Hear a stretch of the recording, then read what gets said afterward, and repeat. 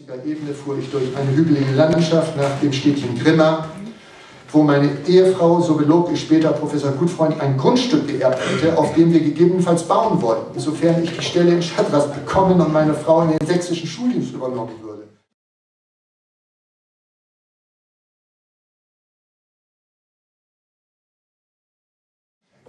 Klammer auf, solche sesshaft soliden Elemente in meiner Lebensplanung konnten nicht schaden.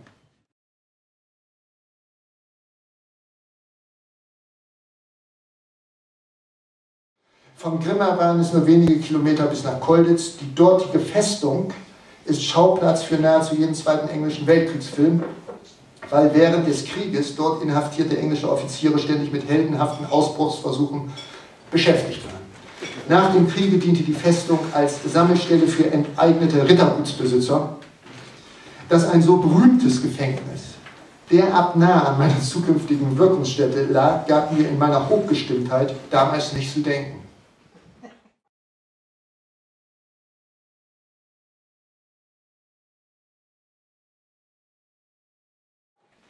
Chatras, das seit dem 13. Jahrhundert als Weiler und Herrensitz zu Burgwald-Kolditz gehört, erreichte ich in wenigen Minuten. Es liegt auf einer kleinen Anhöhe über Kolditz und besteht im Wesentlichen aus einem weitläufigen Park mit schönen alten Laubbäumen, in dem eine Vielzahl von Klinikbauten und Villen, alle im Anker-Steinbaukastenstil anliegend verteilt stehen. Seit 1864 werden hier psychisch kranke Sachsen behandelt. In den 20er Jahren kamen noch drei Klinikbauten in Gestalt von vollkommen überdimensionierten Jugendstil-Ferienhäusern hinzu, die als Lungenheilstätten dienten und Chatras so zu einer Art Leipziger Zauberberg machten.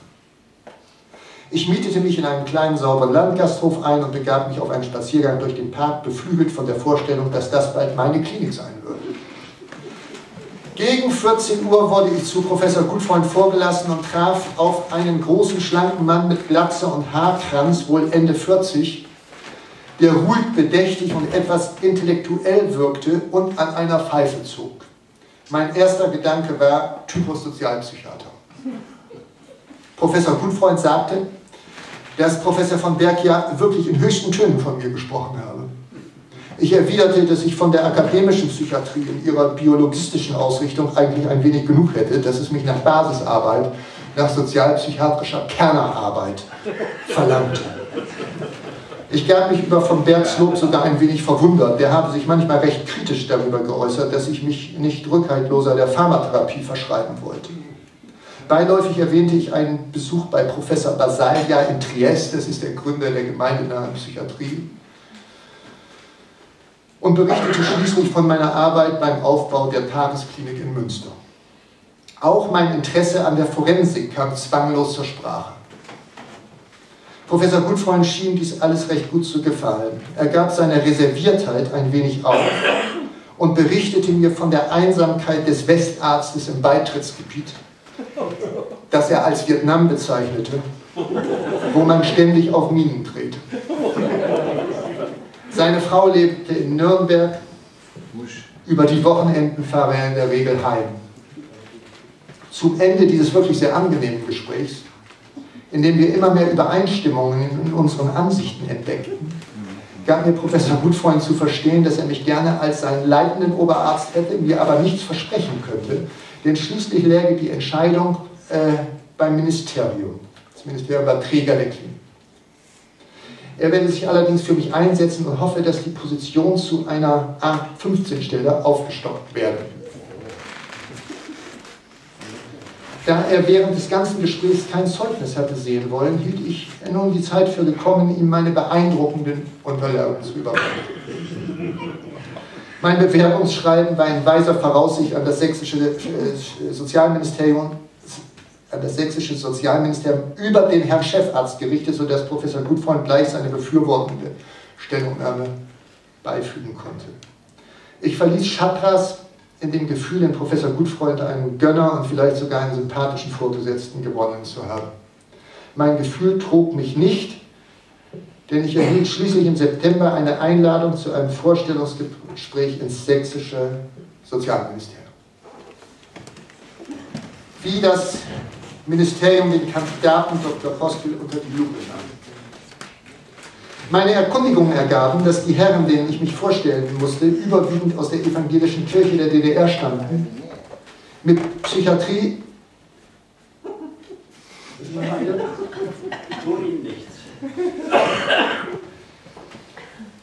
mit Psychiatrie mäßig vertraut waren und in erster Linie nicht von geldgierigen Westlern übers Ohr gehauen werden wollten.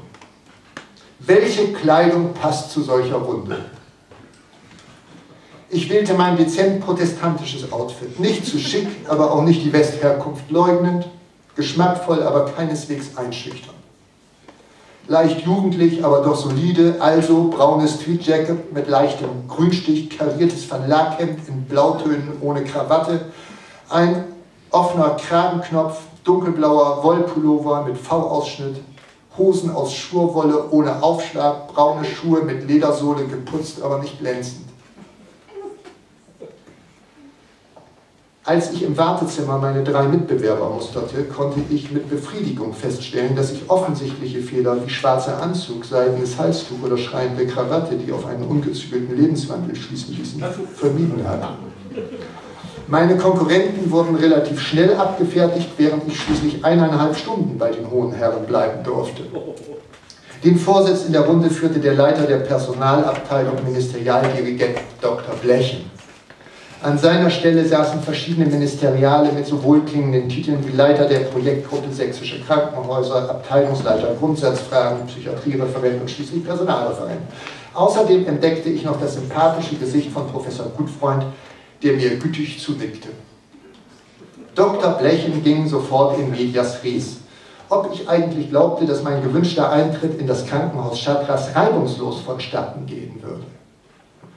Natürlich nicht, erwiderte ich eingedenk der Erfahrung, dass Protestanten es gerne mögen, wenn man ihre Pseudoprovokationen mit Pseudo-Ehrlichkeit beantwortet. Natürlich wird es Reibungen geben, aber man wird sie positiv auflösen müssen. Demütig fügte ich hinzu, es ist natürlich auch klar, dass ich als Westarzt von den Ostkollegen eine ganze Menge zu lernen habe. Und um nicht allzu anbiedernd zu wirken, und die Ostärzte umgekehrt von mir. Meine Synthese, man darf solche Konflikte, Reibungen und unterschiedlichen biografischen Erfahrungshintergründe nicht unter den Teppich kehren, sondern muss positiv mit ihnen umgehen, gefiel mein Gesprächspartner. Obwohl ich vom evangelischen Hintergrund der Kommissionsmitglieder wusste, fand ich es nicht unpassend, sie darüber ins Bild zu setzen, dass ich mich in der katholischen Sozialarbeit erheblich engagiert hätte, ja, dass ich sogar direkt nach meinem Studium einige Monate bei Mutter Teresa in Kalkutta gearbeitet habe. Unaufdringlich ließ ich die Herren wissen, wie sehr mich diese, dieses kirchliche Engagement auch bei meiner zukünftigen Arbeit leiten würde. Ich konnte es mir deshalb auch leisten, auf Dr. Blechens warnende Bemerkung, bei Ihnen in Sachsen würden Ost- und eben keine Westtarife gezahlt, ausgesprochen beleidigt zu reagieren. So bescheiden sei ich nun auch wieder nicht, erklärte ich, dass man glauben dürfe, mich mit Geld abspeisen zu können. Ich hielt es eher für ungerecht, dass einige Ärzte hier in Sachsen nach Westtarifen bezahlt würden. Meine unbescheidene Bescheidenheit imponierte den Kommissionsmitgliedern, zumal der Vorsitzende Dr. Blechen schon angedeutet hatte, dass die Besoldungsfrage bei anderen Bewerbern ein Problem darstelle. Nachdem die Geldfragen für alle Seiten befriedigend abgehandelt waren, ich gehöre sowieso nicht zu der Spezies von Betrügern, denen es primär ums Geld geht, berichtete ich noch ein wenig darüber, dass ich während meines Studiums zu Bier und auch zu Havemann Kontakt gehabt hätte. Ein Umstand, der von diesen professionellen Stasi-Hassern durchaus mit Wohlgefallen verzeichnet wurde. Als Professor Gutfreund spürte, wie gut sein Wunschkandidat bei den Ministerialen ankam, setzte er unnötigerweise noch eins drauf, indem er mich fragte, wie meine Haltung zu Hierarchien sei. Ich erwiderte brav, dass ich an Hierarchien nicht sehr interessiert sei, sondern eher daran, wie man gemeinsam Menschen helfen könne. Professor Gutfreund wies noch darauf hin, dass ich auch psychoanalytische Ansätze vertrete, ohne jedoch dogmatisch zu sein und dass er daran eine positive Ergänzung seines familientherapeutischen Konzepts sehe. Man achte bitte darauf, wie balanciert man in so einem Ministerium reden muss. Auch psychoanalytische Ansätze, also Methodenvielfalt sowieso, aber um das Auftauchen der möglicherweise als subversiv angesehenen Psychoanalyse noch weiter zu entschärfen, ist Dr. Postel bei seiner Anwendung der freudschen Gedanken nicht dogmatisch. Und wer jetzt noch Angst hat, darf sich mit der Überlegung beruhigen, dass diese postelschen Psychoanalyse-Einsprengse ja auch nur als Ergänzung des familientherapeutischen Konzepts des Chefs anzusehen sind und deshalb nur ein wenig Salz in der allgemeinen Therapiesuppe darstellen. Zum Abschied riet mir Dr. Blechen am Abend in die Semperoper, die Semperoper zu besuchen. Ein Vorschlag, den ich einfach dankbar aufnahm. Als er mir allerdings noch einen Tipp gab, wo ich gut essen gehen könnte, wusste ich, dass die Sache für mich gelaufen war. Auf dem Parkplatz des Ministeriums sah ich noch einmal kurz Dr. Blechen, der mir huldvoll zunickte, als ich wegfuhr. Was für eine Fügung, dass ich diesmal mit einem älteren Golf von Münster angereist war und nie wieder in einem Six Mercedes, denn dieses nicht mehr ganz neue, unprotzige und doch solide Auto passte natürlich viel besser ins Bild des kirchlich engagierten Arztes, den das Ministerium eigentlich sucht.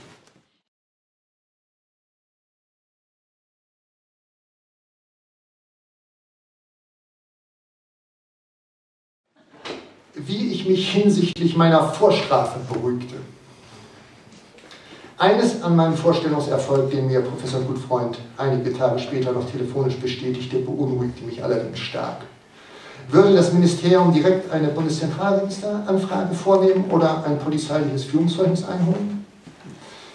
Da diese Sorge mich nicht mehr losließ, rief ich schließlich mich als Richter am Verwaltungsgericht, ich glaube Dr. von Berg aus Leipzig ausgeben, in der Personalstelle des Ministeriums an, wo ich mit einem Personalsachbearbeiter mich verbinden ließ. Ich säße gerade über einem Fall, in dem die Verwaltungspraxis des Ministeriums, nämlich ob bei Neueinstellungen nach eventuellen Vorstrafen geforscht werde, entscheidungserheblich sei. Der Sachbearbeiter erklärte mit einer mich vollkommen beruhigenden Bestimmtheit, dass das Ministerium außer einer Anfrage bei der Gaubehörde, so hieß das damals, keine weiteren Auskünfte einholen, einholt. Ich bedankte mich sehr. Bei Gauck lag selbstverständlich nichts gegen mich vor. Von meinem Standpunkt aus war gegen den Grundsatz der sächsischen Staatsregierung lieber einen unqualifizierten Betrüger als einen qualifizierten Stasi-Mann einzustellen, nichts einzuwenden. Das Primat der Ideologie feierte hier mit umgekehrten Vorzeichen fröhliche Urständ, sodass ich am 15. November 1995 meine Stelle antreten konnte und bereits gegen 9 Uhr von Professor Gutfreund in meine neuen Aufgabengebiete eingewiesen wurde, nachdem er mir zuvor die Ernennungsurkunde des Ministeriums überreicht hat. Warum es mir so schwer fällt, über meine Tätigkeit in Chatras zu berichten. Eineinhalb Jahre nach dieser Zeremonie wurde ich enttarnt und trat, noch bevor es zu einer Aussprache in Abwesenheit von Ministeriumsvertretern kam, weil ich mich indisponiert fühlte, einen Erholungsurlaub an. Einige behaupten, ich sei durch Flucht einer Verhaftung zuvorgekommen. Tatsächlich schreckte mich jedoch weniger die Polizei als die Häme meiner Kollegen und Untergebenen. Dieser Erniedrigung wollte ich mich nicht aussetzen. Gleichwohl mag ich nicht bestreiten, dass es sich um unbezahlten Erholungsurlaub handelte und dass ich während dieser Urlaubszeit jeden offiziellen und persönlichen Kontakt mit der Polizei vermieden habe. Richtig ist ferner, dass ich während dieser Zeit durchweg inkognito reiste und beim Anbieten von Hotelzimmern oder Apartments davon absah, meinen wahren Namen zu verwenden. Nun werden Sie sicher fragen, weshalb ich diesen Zeitsprung mache und nicht einfach chronologisch berichte, wie es mir in Chatras in den anderthalb Jahren meiner Tätigkeit als Oberarzt ergangen ist. Der Grund ist der, dass Inhalt und Bewertung meiner Tätigkeit dort höchst umstritten sind. Und schließlich will man juristisch, nicht, juristisch nichts falsch machen. Immerhin ist zu bedenken, dass auch ein großzügiger Verleger sich nur ungern vor Gericht ziehen lässt.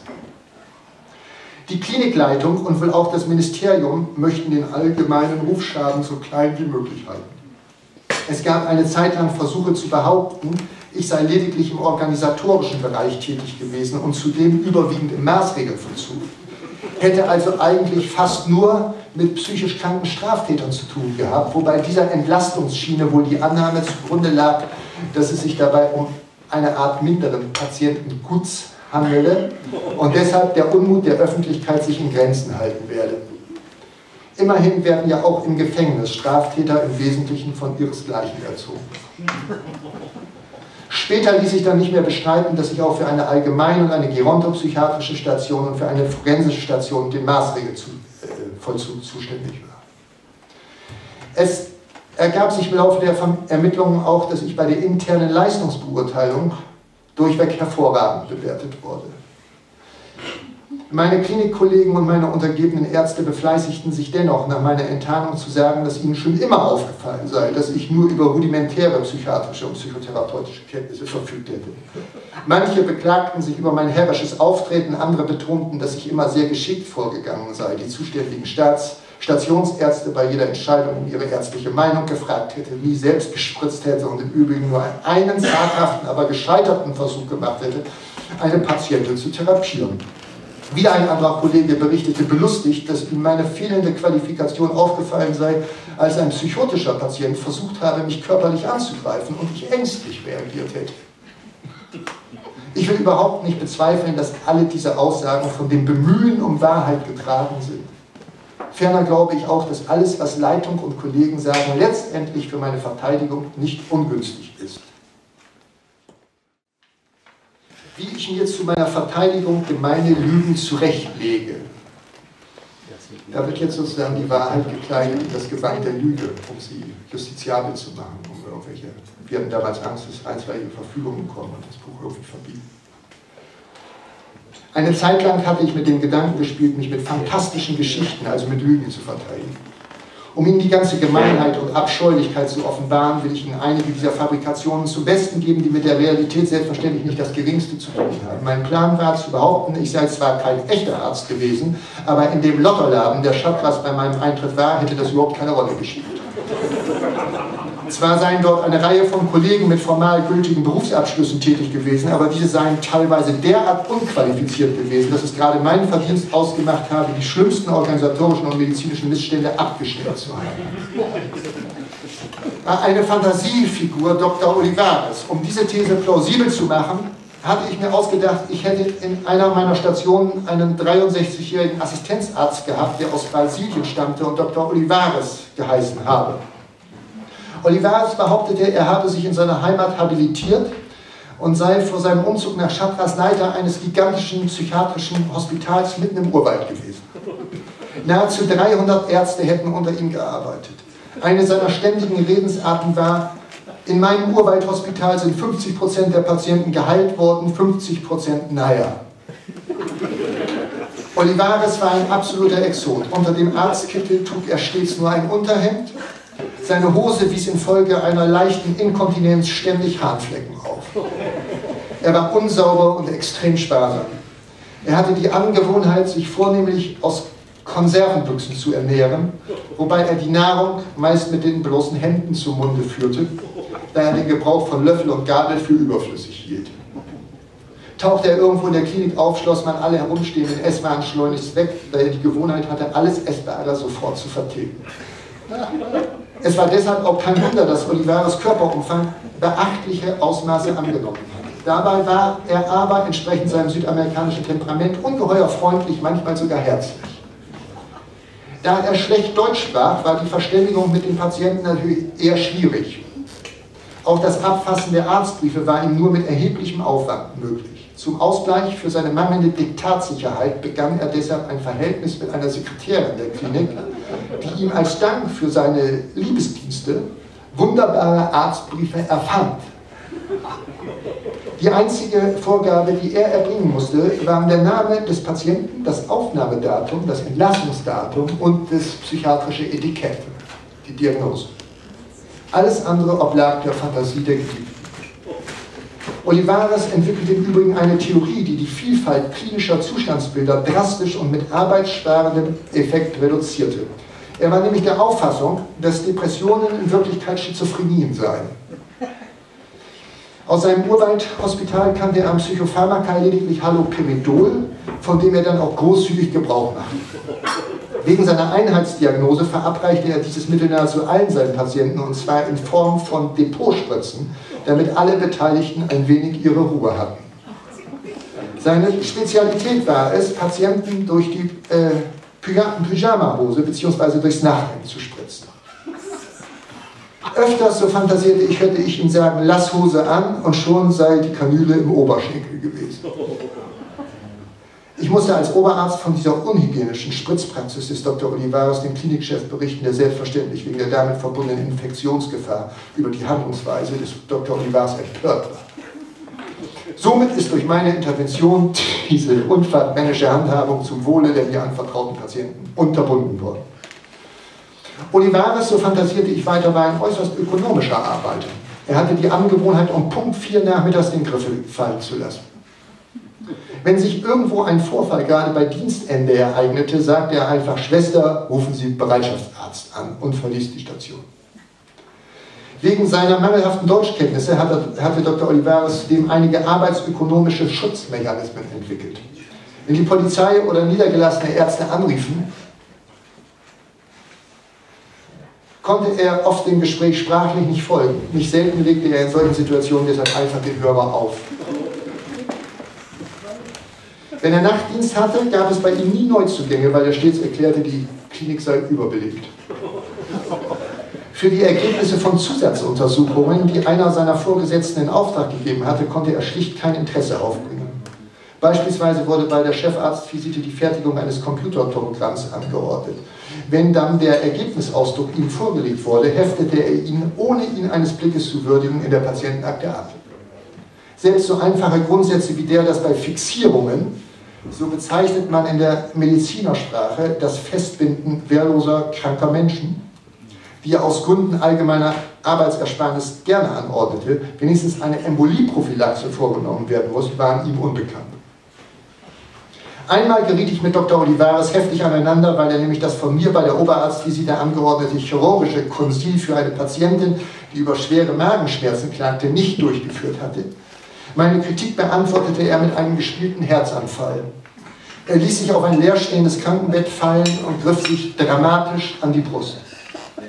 Als ich keine Anstalten machte, ihm beizustehen, stand er einfach wieder auf und sagte flehend zu mir, Herr Oberarzt, tun Sie mir so etwas nie wieder an. Ansonsten, so spann ich meine Geschichte weiter, kam ich gut mit ihm aus, weil er ein lustiger Kerl war und im Übrigen nicht so wie andere zu Intrigen neigte. Auch bei Professor Gutfreund hatte er ein Stein im Brett, weil er für Hausfrauen aus der Leipziger Neubourgeoisie Kurse in Voodoo-Medizin abhielt, wovon Professor Gutfreund sich eine höhere Akzeptanz seiner Klinik bei Privatpatienten versprach. Gemein wie ich bin, dachte ich mir auch noch aus, Professor Gutfreund sei Dr. Olivares irgendwie verpflichtet, äh, weil dieser ihm die Habilitation an einer brasilianischen Urwalduniversität angeboten hatte und auch für ihn die dazu notwendige Arbeit auf Portugiesisch zu verfassen. Es versteht sich von selbst, dass daran kein wahres Wort ist. Wie ich das Land Sachsen vor großem Schaden bewahrte. Um ein Haar hätte übrigens der Umstand, dass ich Ostern 1996 zufällig das, zufällig das Richtige tat und dies auch noch gut verkaufte, zu einer Trennung von Professor Gutfreund geführt. Und das kam so. Mein Chef, Professor Gutfreund, hatte bereits am grünen Donnerstag 1996 seinen wohlverdienten Osterurlaub angetreten und war zu seiner Familie nach Nürnberg gereist. Ich, sein Oberarzt, war in Chartres zurückgeblieben und trug nun während des Auferstehungsfestes die alleinige Verantwortung auch für den Maßregelvollzug, also jenen Teil der psychiatrischen Klinik, in dem psychisch kranke Straftäter untergebracht waren. Von dort wurde mir hintertragen, dass einige Insassen planten, in der Zeit zwischen dem höchsten protestantischen Feiertag, Karfreitag, und dem höchsten katholischen, Ostersonntag, gemeinsam auszubrechen nicht auszudenken, was einige Triebtäter im Verein mit schizophrenen Mördern außerhalb der Anstalt für ein Unheil hätten anrichten können. Schnelles und entschlossenes Handeln tat Not. Ich beschloss, die Verschwörung zu zerschlagen, die Anführer zu trennen und zu isolieren. Meine Freunde vom Landeskriminalamt schickten mir, nachdem ich das Justiz- und das Sozialministerium per Telefax auf die Gefahrenlage hingewiesen hatte, ein Spezialeinsatzkommando, das die verdatterten Konspirateure handstreichartig in Gewahrsam nahm und auf andere sicherere Anstalten des Freistaates Sachsen verteilte. Als meine Förderer aus dem Sozialministerium am Dienstag nach Ostern ihren Dienst wieder antraten, lag ihnen bereits mein Bericht vor, in dem ich sachlich, aber nicht ohne Sinn für Dramatik schilderte, wie ich während der Feiertage dieser furchtbaren Gefahr für Sachsen begegnet war. Nun muss man wissen, dass es für die politisch Verantwortlichen nichts Unangenehmeres gibt, als wenn verrückte Kriminelle unerlaubt eine Anstalt verlassen und die Bevölkerung, da ob in Angst und Schrecken versetzt, nach einem Schuldigen sucht. Es gehört also wenig Fantasie dazu, sich vorzustellen, welch wohliger Schauer meinen Ministerialen bei dem Gedanken überkam, durch mich von einem Unheil bewahrt worden zu sein, das leicht ohne die Wachsamkeit dieses wunderbar tatkräftigen Oberarztes zu fürchterlichen Zornesausbrüchen ihres gottähnlichen Ministers geführt wird. Solche Männer braucht das Land, werden einige Herren im Ministerium gedacht haben, denn anders lässt es sich nicht erklären, was mir einige Tage später von dort widerfuhr wie das Ministerium mich um ein Haar zu einer weiteren Betrugstat verleitete. Drei Tage nach Ostern wurde ich zu einer Nachbesprechung ins Staatsministerium bestellt, der ich nichts ahnend Folge leistete. Ich vermutete, dass man anhand der Osterereignisse noch einmal über Sicherheitsfragen im Maßregelvollzug sprechen wollte. Im Ministerium waren meine österlichen Heldentaten jedoch nur noch ein Nebenthema. Der zuständige Abteilungsleiter schlug mir nämlich überraschend vor, die Nachfolge von Professor Dr. Konrad als Chefarzt in Arnsdorf anzutreten, dort im Maßregelvollzug. Ich war vollkommen sprachlos, suchte nach Worten. Allein der Gedanke, Nachfolger von Professor Konrad, dem einzigen ungebrochenen Schüler des großen Professor Rasch aus Berlin, ganz berühmtes Buch geschrieben, Die Tötung des Intimpartners. Nachfolger ist der noch größere Hans-Ludwig Kröber geworden. Licht, Lichtgestalt. Gutachten gerne schreibt auch ohne mit Patienten zu sprechen. Übrigens, der Rasch hat, nachdem er erfahren hatte, dass das Kröber zum neuen Ordinarius bestellt werden sollte, Klinik nicht mehr betreten. Einen Moment überlegte ich, ob die Ministerialen vielleicht inzwischen meinen wahren Bildungsgang herausbekommen hatten und mich einfach noch einmal richtig foppen wollten, bevor sie mich dem Staatsanwalt übergaben. Aber mir blieb keine Zeit, solchen Gedanken nachzuhängen, denn der Referent schaute auf seine Uhr und sagte, dass wir uns jetzt in den Besprechungsraum begeben müssten. Halb bewusstlos trottete ich hinter ihm her, ich, der Betrüger, der Täuscher, der Einfädler, unwillkürlich ein hilfloses Objekt der Machenschaften der Ministerialbürokratie. Im Besprechungsraum hatte sich alles, was im Ministerium auf diesem Sektor Rang und Namen hat, versammelt, sieht man einmal vom Staatssekretär und vom Minister selbst ab. Die Herren trugen keine abweisend feindlichen Mienen. Nein, sie begrüßten mich freundlich, fast kollegial. Landau, einer der wichtigsten Leute im Ministerium, redete sofort auf mich ein, ich solle die Stelle in Arnsdorf annehmen meine Einwendungen, dass ich doch gerade mal eben meine Probezeit in Chatras absolviert hätte und dass meine forensischen Erfahrungen, die man für Arnsdorf als Unterbringungskrankenhaus ja wirklich nun bräuchte, ziemlich begrenzt seien, wischte Dr. Landau mit dem Hinweis beiseite, Professor Gutfreund habe mir doch gerade eine geradezu hervorragende Zwischenbeurteilung erteilt. Damit hatte er natürlich nicht ganz unrecht. Professor Gutfreund hatte mir ein derart schmeichelhaftes Zeugnis für meine Personalakte ausgestellt, dass die Staatsanwaltschaft nach meiner Entdeckung einige Schwierigkeiten hatte, sich eine Kopie dieses Zeugnisses für ihre Ermittlungsunterlagen zu beschaffen. Dermaßen peinliche Dokumente gibt schließlich niemand gerne aus der Hand. Ich habe das dann aber faximiliert im Buch abgedruckt. Da steht dann, der äh, leitende Oberarzt Dr. Postel übertrifft die Erwartung.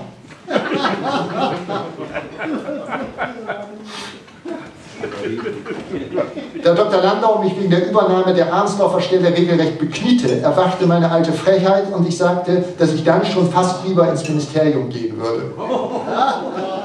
Dr. Landau, der gewiefte bürokratische Fuchs, parierte meine Unbescheidenheit geschmeidig. Wissen Sie, Herr Dr. Poste, eigentlich hatten wir uns Arnsdorf als eine Vorstufe für eine Abteilungsleiterstelle im Ministerium gedacht.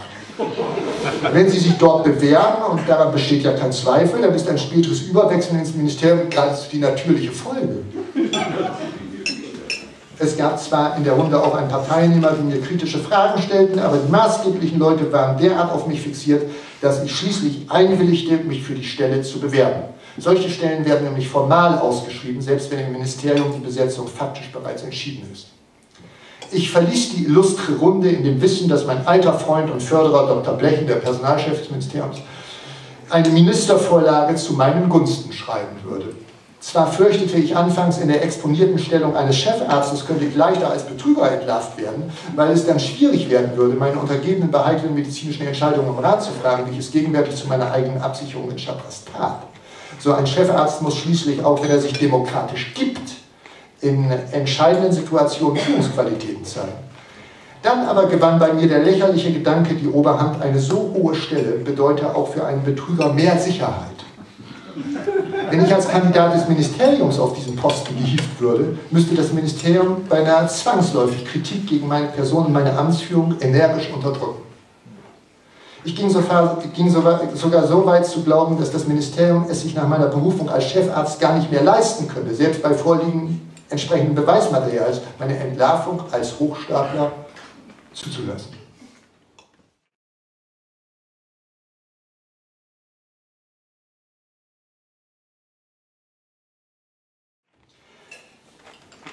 Angesichts der Fülle von Wohlwollen, die mir aus dem Ministerium entgegengebracht wurde, schien es mir angebracht, mich meinerseits erkenntlich zu zeigen, und so beschloss ich, in die CDU einzutreten. Wer in Sachsen etwas werden wollte, damals ging zu den Christdemokraten. Dass es schon für einen Oberarzt von Vorteil sei, dieser sächsischen Staatspartei beizutreten, hatte mir bereits die Verwaltungsleiterin der Schalkasser Kliniken bedeutet.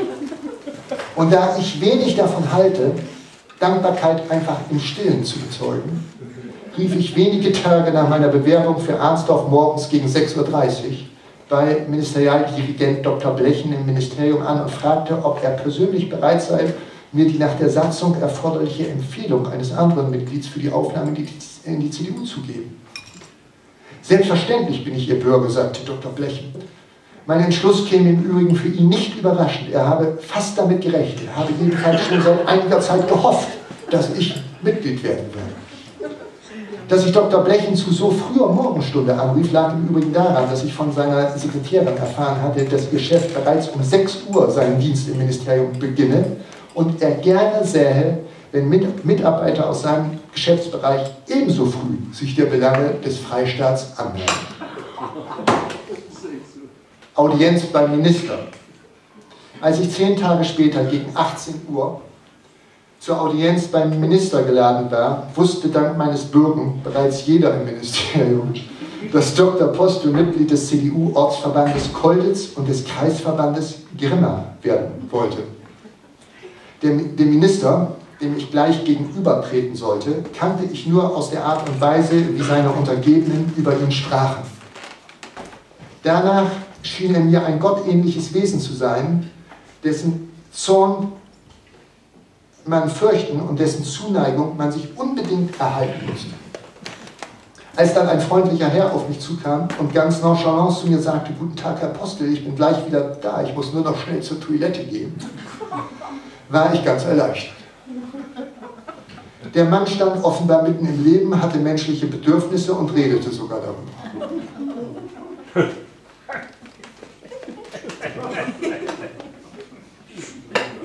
Herr Dörner, das gefällt Ihnen. Sie gefallen mir sowieso. Ja, trotz aller Menge, ja, trotz aller Menge. Sie mir nicht so. Weiß ich, weiß ich, aber das ist Ihr Problem. Ihr Problem. Das Gespräch mit mir bestritt der Minister, obwohl es anderthalb Stunden dauerte, im Wesentlichen allein. Er stellte mir seine Ideen zur Enthospitalisierung vor, denen ich zustimmte, was er offenbar gewohnt war. Dann ging er dazu über, ziemlich pointenlose Geschichten zu erzählen. Eine von ihnen ging so, aus der Unterbringungsanstalt, Paragraph 63. In Arnsdorf ist einmal ein Kinderschänder ausgebrochen. Da ich dort in der Gegend wohne, so sagt der Minister, bin ich mit meinem Privatauto zur Anstalt gefahren und habe gesagt, ich bin der Minister, ich will mir jetzt mal die örtlichen Gegebenheiten anschauen, wie dieser Kinderschänder hier ausgebrochen ist. Da haben die an der Anstaltspforte zu mir gesagt, ich bin der Minister, kann doch jeder sagen, sie haben mich nicht reingelassen. Über diese Geschichte, die wahrscheinlich nur komisch ist, wenn man seine gottähnliche Stellung in Rechnung stellt, musste der Minister ganz herzlich lachen. Ich stimmte heftig in sein Lachen ein, nicht aus Höflichkeit, sondern weil ich es saukomisch fand, dass der Minister solche Geschichten erzählt. Plötzlich guckte der Minister auf seine Uhr und sagte, er müsse zu einem nächsten Termin aufbrechen. Dr. Blechen berichtete mir im Nachhinein, der Minister sei von dem Gespräch mit mir sehr angetan gewesen. Ich sei insbesondere der erste Chefarztkandidat gewesen, der ihm keine Gehaltsdiskussion aufgedrängt habe.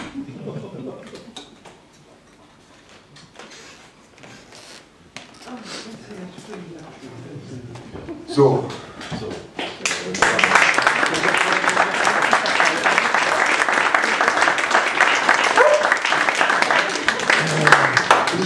Therapeutisch sehr tragischen Situation. Sie beklatschen mich für ein Verhalten, das doch irgendwie positive Verstärkung für solches Tun ist. Therapeutisch nicht so günstig, oder? Ja.